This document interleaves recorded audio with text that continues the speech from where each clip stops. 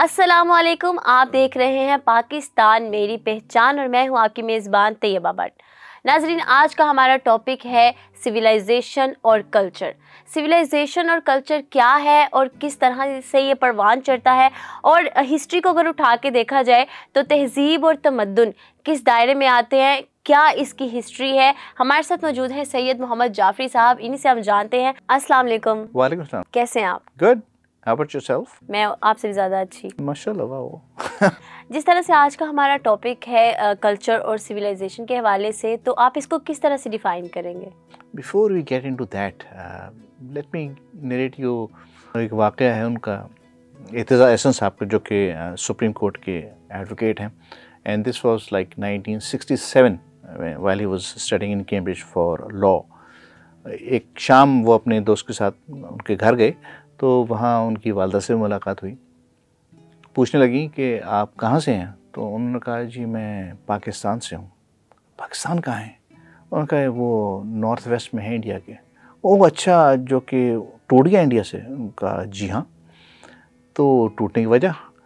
उन्होंने कहा कि, भाई वी आर नॉट इंडियंस अच्छा? तो कहने, जो पाकिस्तानी वो उनको भी कहेंगे जो कि इस वक्त इंडिया में मुसलमान हैं?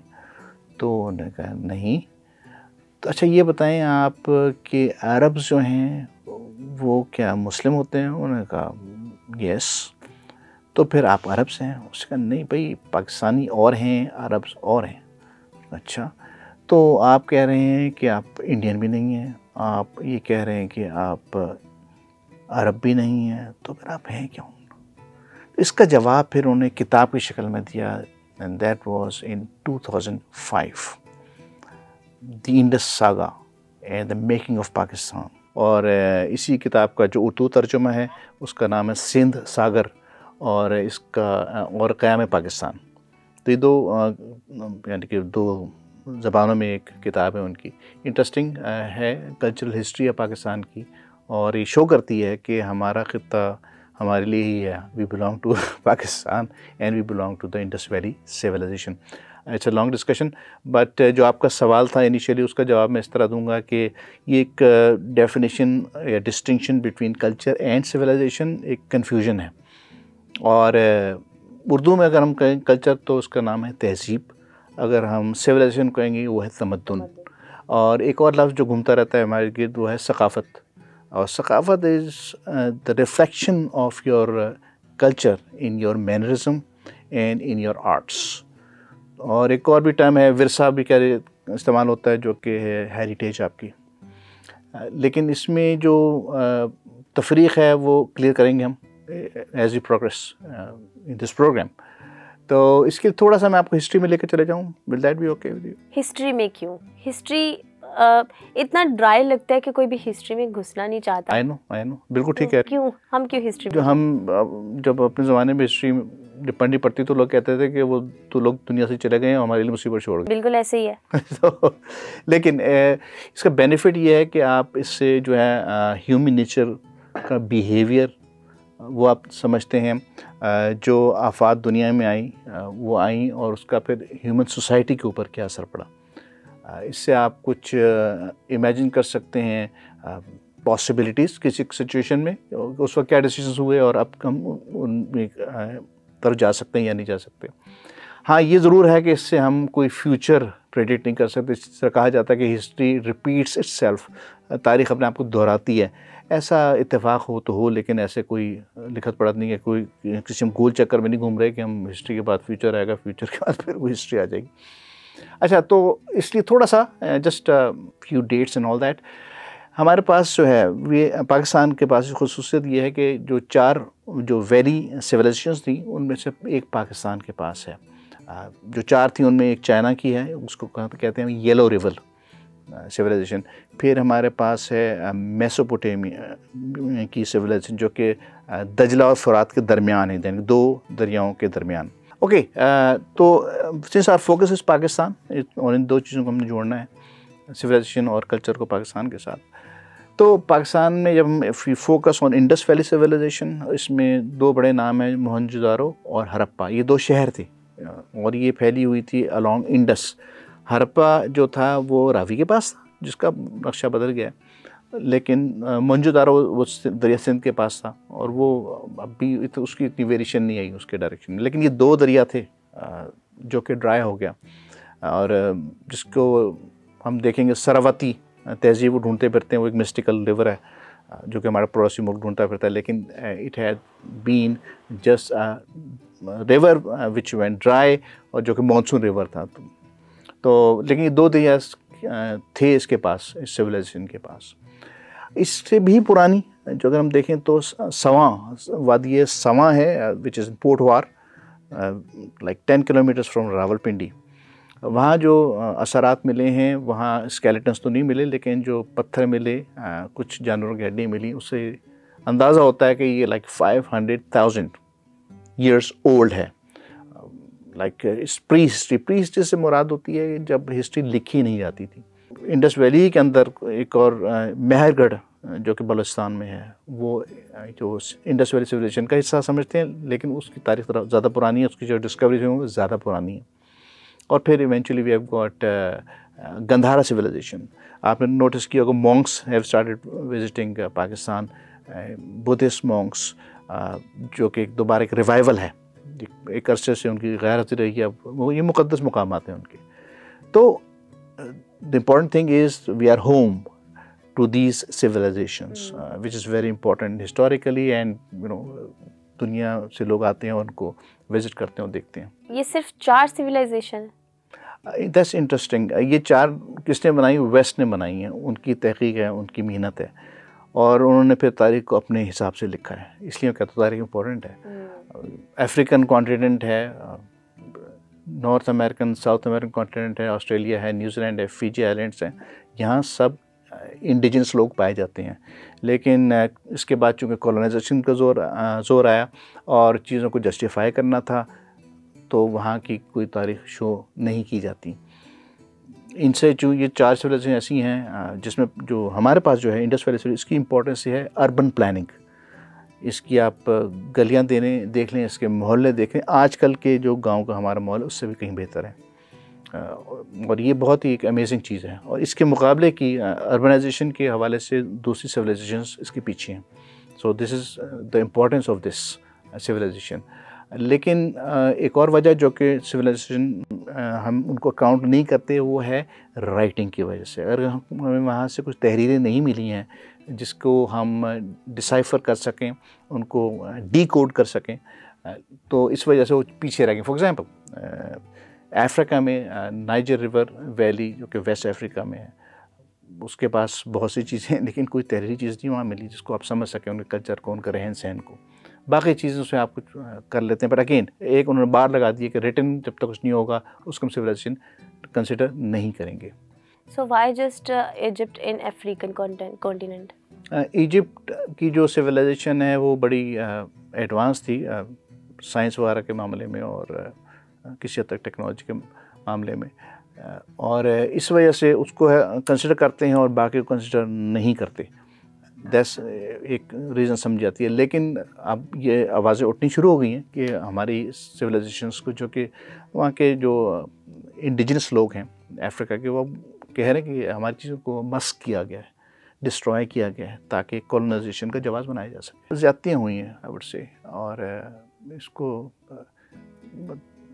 सिविलाइजेशन को ख़त्म करने की कोशिश की गई ताकि अपना जवाब बनाया जाए। सोसाइटी और सिविलाइजेशन में क्या फ़र्क हुआ? सोसाइटी जो है ना इट्स एक bigger picture of human society उसमें यानी कि सब सोसाइटीज़ जब वर्ड सोसाइटीज़ आ जाती हैं जब हम वर्ड इस्तेमाल करते हैं society that's like elite group of of a community उसमें फिर और भी कम्युनिटीज रिलीजियस बेस्ड कम्युनिटी भी हो सकती हैं। Overall you look them as civilisation उसके अंदर सोसाइटीज़ हैं। दैट्स द कॉन्सेप्ट ठीक है। तो जो इंडस वैली के लोग थे उनके साथ क्या हुआ फिर? अच्छा इंटरेस्टिंगली ऐसा है कि हमारा पास इसका रिकॉर्ड 1300 बीसी तक है। उसके बाद एक हज़ार साल का गैप आ जाता है एज ऑफ़ टुडे इतना ज़्यादा गैप कैसे आ जाता है? वो मसला ये है कि यहाँ ज़्यादा राइटिंग्स नहीं मिली आपको। ख्याल किया जाता है कि वो किसी टेम्प्रेरी लिख ली पत्तों पे या किसी ऐसी टेम्प्रेरी मटेरियल के ऊपर जो कि अगली जनरेशन तक ट्रांसफ़र नहीं हो सका। और इस वजह से हमें यस वहाँ पे आपको जेवरात मिले, आपको फिगरेंस मिली। आपको कुछ ये अंदाज़ा होता है कि यहाँ पर किस तरीके से, यानी बुलॉक कार्ड यानी व्हील का कॉन्सेप्ट था, उनके पास तो खेती बाड़ी वो करते थे। और ये चीज़ें मिली लेकिन तहरीरी चीज़ें मिलती हैं तो उनको डी कोड करके हम शायद जिस तरह के मेसोपोटेमिया में और इजिप्ट में किया उन्होंने डेसिफर करके और वो दे ट्राई टू अंडरस्टैंड कि वो डी कोड करके उनकी लैंग्वेज को किसी हद तक को समझ लिया उन्होंने। So how do you get the culture culture निकलता है जनाब सिविलाइजेशन से। Hmm. और सिविलाइजेशन बनती है सपोज़ एक गाँव है गाँव में एग्रीकल्चर में ही बुनियाद है सब जगह। आफ्टर द हंटिंग पीरियड तो जब आपके पास एग्रीकल्चर सरप्लस हो जाता है, इतना गल्ला होता है कि आप सरवाइव कर सकें, उसको स्टोर कर सकें, फिर आपको दूसरी चीज़ें सोचती हैं, दूसरे ट्रेड्स में आप दाखिल होते हैं। अगर किसान हैं तो उनके साथ लोहार पैदा हो जाएगा, तरखान पैदा हो जाएगा, कुम्हार आ गए, कूजागरी जिसको कहते हैं सेरामिक वर्क वो शुरू हो गया, मोची आ गए। तो इस तरह इस तरह इनकी ट्रेड साथ साथ जुड़ते जाते हैं और वो एक तहज़ीब बनती जाती है। उनका एक ख़ास एक उठने बैठने का तरीका हो जाता है। असल में तहज़ीब और तमद्दन, इसका जो हमारे पास कॉन्सेप्ट है, था ही नहीं बिफ़ोर एटीन हंड्रेड्स ये सरसई साहब, अंग्रेज़ों आने बासरी साहब ने हमें इस तरफ़ रास्ता दिखाया कि हम भी भाई कल्चर कल्चर को अडॉप्ट करें, किसी उसको आइडेंटिफाई करें। हम भी ताकि सिविलाइजेशन कहलाएँ हम महजब लोग कहलाएँ जिस तरह के बाकी दुनिया में उनके पैमाना है ताकि उस स्केल के ऊपर आप पूरा आ जाएँ वर्ल्ड वाइड तो उन्होंने ये चीज़ शुरू की अपनी तहरीर में। उस वक्त भी he was not clear about the distinction between culture and civilisation उन्होंने रिसाले निकाले तहजीबुल अखलाक। पहले कहा जाता था कि आप बहुत इफ़ अगर आपका बिहेवियर जंगली हैं आप तो कहा जाता था कि आप बद तहजीब आदमी हैं अनकल्चर्ड हम्म। आदमी हैं। लेकिन उस ज़माने की जो डेफिनेशन थी कल्चर की वो सिर्फ़ यही था कि आपको जो अशरफी अशरफा जो हैं या जो जो इंटेलिजेंसिया है वो जो क्लास है उसमें अगर आप उठने बैठने में उनके असूल उनके तरीक़े नहीं फॉलो करेंगे उन जैसे नज़र से नज़र नहीं आएँगे तो आप वो अनकल्चर्ड कंसिडर होंगे। दैट वॉज़ ऑल अबाउट उसके बाद जो अब वक्त के साथ साथ जिस तरह आदमी का शौर बढ़ता गया तो अब जो लेटेस्ट डेफिनेशन वो ये है कि एक आर्टिफिशियल बिहेवियर है according to some values and beliefs in a society और उसी के ब्रैकेट के अंदर रहते हुए you develop desires and needs for yourself और आपको उनका कहने का और तरी, जो तरीक़ा है वो उस, उस तरह है। Once you once you are there then you have a culture you, and that culture becomes your identity. तो क्या ये एलिट सोसाइटी की बात है? नहीं दिस अब मसला ये है कि हमारे यहाँ एक क्लास कल्चर है। हम we talking about Pakistan over here we have a class culture class से मुराद ये है एक ब्यूरोक्रेटिक कल्चर है एक लैंड लैंडलॉर्ड कल्चर है फार्मर्स का कल्चर है ट्रेडर्स का कल्चर है। ये एक लेयर्स हैं जो अपनी अपनी कम्युनिटी में एक एक तरीक़े से बिहेव करते हैं। आपको चाहे पसंद हो या ना हो बार उनके उठने बैठने तरीका है, उनके बिलीव्स उनकी वैल्यूज़ हैं। और, उसके बाद फिर हमारे पास इलाक़ी कल्चर है। Problem is that you need national culture national culture होगा तो एक आपकी आइडेंटिटी होगी। वो एक ज़रा बहुत मुश्किल काम है और इस पर अटैम्प्ट हुई हैं। Process still going on nineteen seventies में जो हैं, इसमें पाँच इश्यूज़ हैं।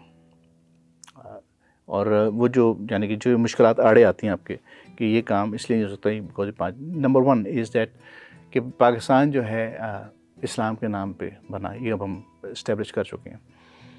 अगर इस्लाम के नाम पे बना है तो गैर इस्लामी चीज़ें काबिल कबूल नहीं हैं।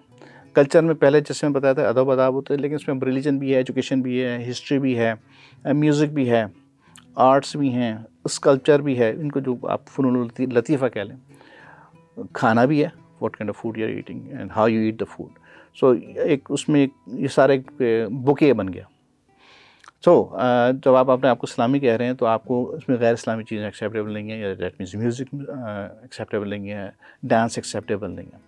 दैट इज़ वन ऑब्स्टिकल तो दूसरी जो डेफिनेशन uh, जो जो ऑब्स्टिकल है वो is again because based on the definition that this में ये जो हमारे पास है इसमें टू नेशन थ्योरी के, उसके ऊपर बना।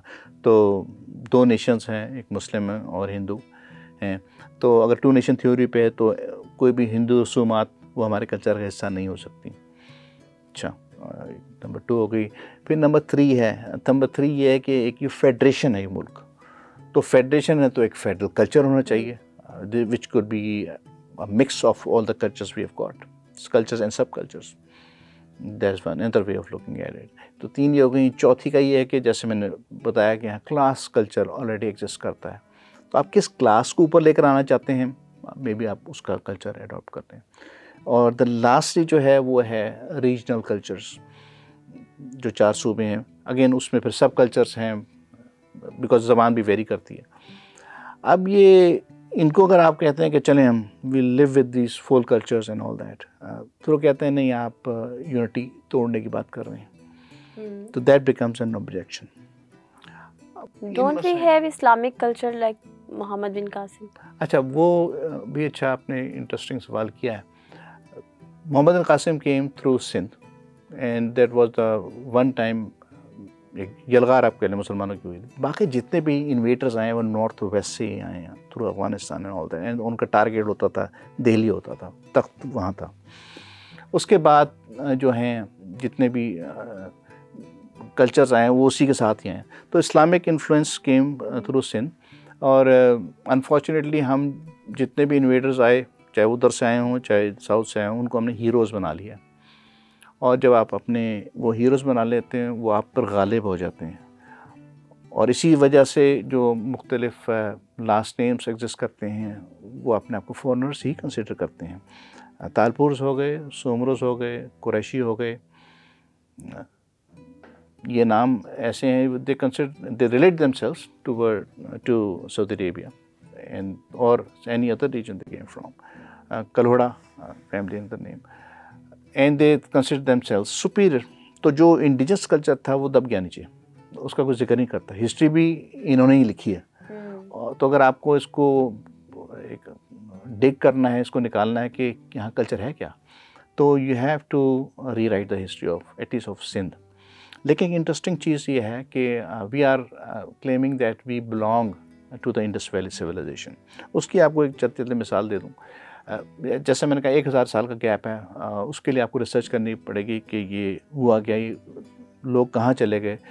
कोई लड़ाई का असारा तो नहीं है कि वो जो लड़के और वो एक जो कहानी है, वो एरियंस की, कि एरियंस ने आके उनको इन्वेट कर लिया, उनको पुश कर दिया into Indian region and all that या फिर वो चढ़ गए पहाड़ों पे बलुस्तान में और वहाँ पे देर सेटल्ड ओवर देयर लेकिन अगर हम एक आजकल मोहने मोहनास मोहनास मोहनदो से मिलते मोहनास हैं वो आज भी जो उनका आबाई पेशा था, मछली पकड़ना और उसी पे रहना, बोट्स पे रहते हैं, वहीं पैदा होते हैं और वहीं ज़िंदगी अपनी गुजार देते हैं। ये लोग फैले हुए हैं in south Punjab and they और also present along the coast of Arabian sea पेशा एक ही है। लेकिन कुछ लोग जो इसमें से पढ़ ले गए वो आगे निकल एक्सेल कर गए they have contribute to the society very much अच्छी अच्छी पोजीशनों पर रहे सरकारी महकमों रहे private and but they adopted different last names हमारे पास मल्टीपल uh, कल्चर्स हैं। Do they change with time अच्छा मल्टीपल कल्चर्स हैं और टाइम के साथ इनका हंड्रेड परसेंट रिलेशनशिप है। Cultures very because of mainly three factors environment then we got technology and the thought process. Environment का ऐसा है कि हमारा जो नॉर्थ का जो कल्चर है वो जो स्वाद लेट्स कल्चर स्वाद, वहाँ छोटे छोटे घर बने हुए हैं और कोल्ड टेम्परेचर है और बहुत ज़्यादा गर्मी नहीं है। As you compare with Sindh या बलूचिस्तान। तो इनका जो कपड़े गज़ा डिफरेंट है, उनकी गज़ा डिफरेंट कपड़े का ओना पहनना, ओढ़ना जो है वो डिफरेंट है। तो इन दो का तो आप मर्ज नहीं कर सकते, कोई आपको मिड पे हो तो हो। फिर उसके बाद हमारे पास इन्फ्लुएंसेस हैं। एज इन्फ्लुएंसेस आज भी हैं। अब आप चूँकि इंटरनेट की ऐसे गुजर रहे हैं तो इन्फ्लुएंसेस हैं। और लोगों ने अपना रहन सहन चेंज कर लिया है। इवन अब तो इंटरनेट की वजह से अवेयरनेस आपको एक विलेज लेवल तक भी है।